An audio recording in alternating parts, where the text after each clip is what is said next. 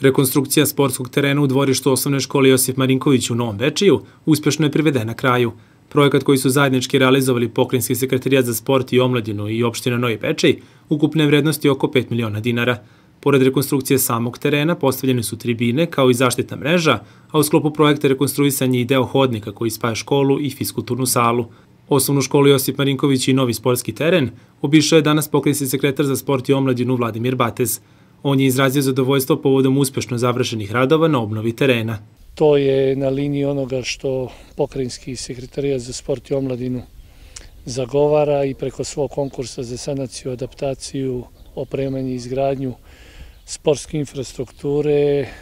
osnovni prioritet vidi kao sanaciju i ulaganje u infrastrukturu osnovnih i srednjih škola.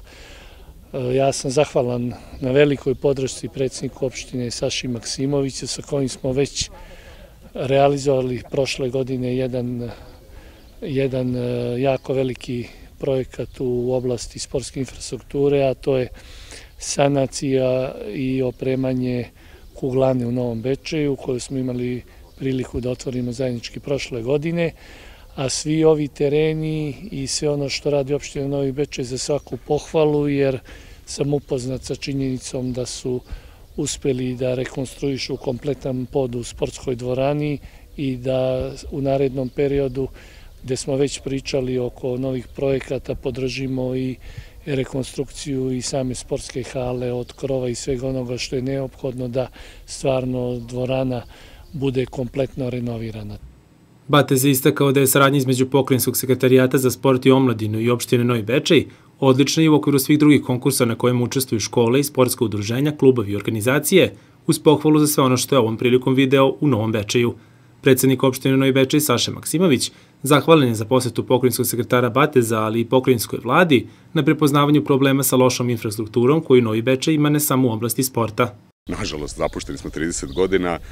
ali trudimo se da što se sportske infrastrukture tiče e, rekonstruišemo dakle ne centar Novog Bečeja nego i e,